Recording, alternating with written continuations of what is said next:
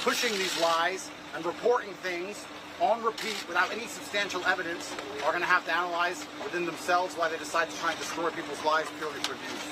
I've done nothing wrong. God knows I've done nothing wrong. In my heart, I know I've done nothing wrong. I think the people at home who with a functioning brain understand we've done nothing wrong because nobody has yet to identify a single victim which is done, which is saying that we've done anything to them entire process.